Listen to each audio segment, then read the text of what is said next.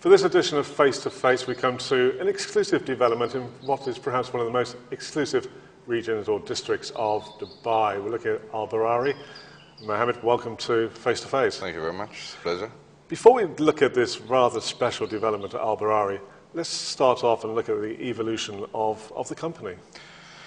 Well, Al Barari started um, as a concept by the chairman, Zaal Mohammed Zaal, about seven or eight years ago. Um, and we wanted as a family to create a community that we could be a part of. Um, we actually started by designing our own house. Um, and we found that we could design a wonderful house and beautiful surroundings within our four walls. But what we found was that there was not a suitable place where we wanted to put that property. Right. Uh, and this is how you know the whole thing started. Then we, you know, of course, the construction boom and the, the real estate boom was was happening at the time. Uh, so we eyed a few plots and, and, and you know finally found uh, this wonderful piece of land here, and, and uh, it all started there. Uh, it just um, it felt right when we came onto the, the land and. So the idea from your own personal family home has evolved into this project. Into the project, yes. Evolving all, how many villas in, in total?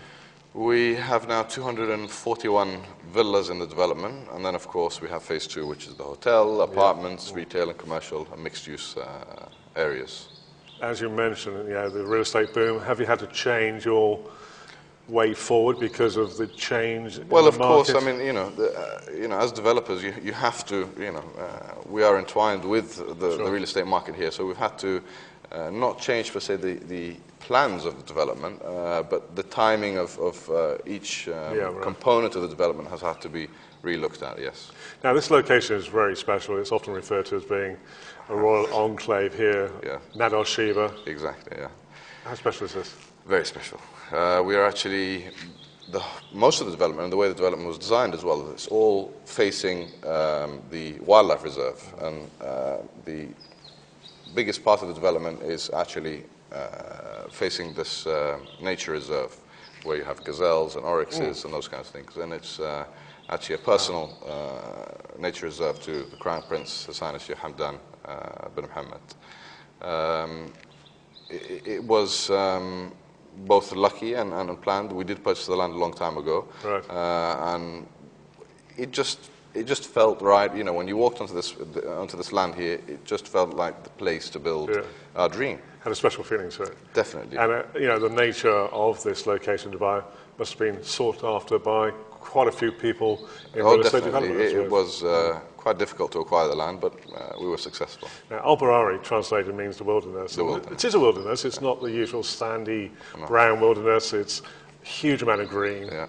So, what is the the feel, the philosophy between the landscaping, Balinese and various other countries? Well, yeah, no, I mean, we have um, six themed botanical gardens within the development. So you have the Balinese garden, Mediterranean garden, um, uh, Renaissance, and uh, themed over different uh, sort of areas. And we tried to incorporate all the different uh, types of plants that we had. Uh, we started our nursery business uh, quite a while ago, and we, we actually have uh, one of the largest um, uh, privately owned nurseries in the, in the region, yeah, in fact. Yeah. Uh, so we wanted to incorporate all the different types of species we'd acquired into the development.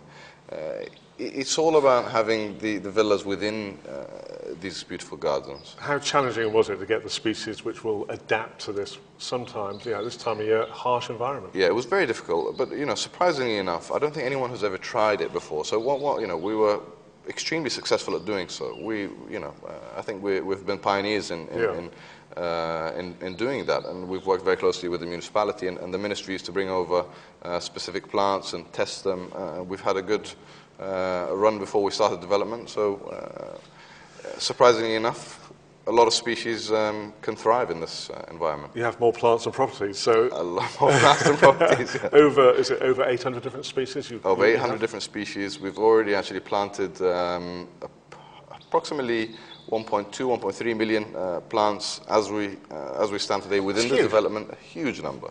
Uh, and we've, you know, already have more than 10 million in, in, in our nursery uh, right. alone. So, how, how, are you able to sustain this volume and also wide variety? Well, uh, you know, the, the only issues which do do uh, do come uh, do come up, are, the irrigation and, and water consumption sure. sides. But it's a common misconception that the more you, uh, you plant, the, the more water you need. Uh, Right. there is a, a point uh, where that actually does s- uh, stable out because you do create microclimates. you create, uh, yeah. you know, a lot of shade, so there's less evaporation, etc., etc. Okay.